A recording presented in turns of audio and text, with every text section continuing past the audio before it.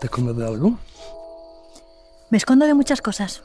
Ya, como del grupo de cotillas que no paran de cortar traje, o de la tía de Carla, que es una cotorra.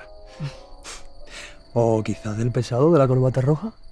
Vaya, veo que no se te escapa una. ¿Y tú? Yo vengo a esconderme un rato también. ¿Puedo? Claro. No, gracias. Hace tiempo que lo dejé. ¿Quieres que vaya por un poco de vino? No, creo que he completado el cupo de vinos por una noche ya. ¿Vienes de parte de él o de ella? Pues de los dos y de ninguno. Vengo en nombre de la empresa. La familia de ambos son clientes de nuestra firma y, bueno, Boda por compromiso. sí. ¿Y tú? Amigo del novio. Exnovio de la novia. ¿En serio? Totalmente en serio. ¿Y me puedes decir cómo es eso? Bueno, aparte de porque seguimos siendo socios, por, por joder a mi ex suegra. y por eso estoy aquí. ¿En la boda? No, aquí, contigo. ¿Me estás utilizando? O igual te estoy poniendo a huevo como utilices tú a mí. Yo. A ti. ¿Utilizarte yo a ti para qué? Ah, para que me des clases de nuevas tecnologías o de redes sociales. No es de lo único que sé. Pero igual me podrías dar otras clases tú a mí. Crees muy listo, ¿no?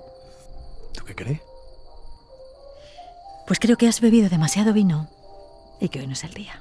Mm, el día de utilizarnos. El día de asaltar cunas. ya veo, ya. Así que eres de esas personas que cuentan. Cuentan el tiempo sin fumar, cuentan cuántos vinos van, cuentan los años que... ¿Sabes lo que siempre me decía mi abuelo? A ver, No cuenten las cosas o los momentos, mejor es que cuenten. Que cuando seas un viejo como yo puedas hacer un buen recuento.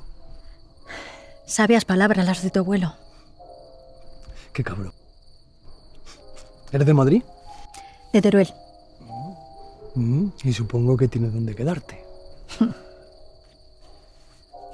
Desde luego que tengo donde quedarme. Mi marido tiene muchos amigos aquí y me quedo en casa de uno de ellos. De un amigo. De un matrimonio amigo, sí. No me lo creo. Ah, ¿no? No, para nada. No tienes pinta de ser el tipo de mujer que recoge una llave y que entra y sale de una casa ajena. Además, no parece que necesites hacerlo. Y bueno, la puntualización de que estás casada, muy acertada en este punto de la conversación. Y lo que creo es que, bueno, te quedas en un hotel. Pero admitirlo sería como, no sé, dejar abierta una puerta a la imaginación. Así que he matado dos pájaros de un tiro. Bien jugado. Vaya, veo que has contemplado casi todo tipo de posibilidades. Pero imagínate que te digo que no tengo dónde quedarme. ¿Qué hubiera pasado? Hubieras hecho un despliegue de hospitalidad y me hubieras cedido un rincón en el sofá de tu piso. Pues no, mira, nada de eso, porque yo tampoco vivo en Madrid. Así que bueno, te ofrecería el asiento de atrás de mi coche, que puede ser una muy buena opción. ¿La primera calada? ¿Después de cuántos años? Vaya, veo que eres una de esas personas que cuentan los momentos, cuentan el tiempo sin fumar, cuentan los vinos que van. ¿Sabes? Yo creo que es mucho mejor no contar los momentos ni las cosas. Es mucho mejor hacer que cuenten. Y hoy es el día.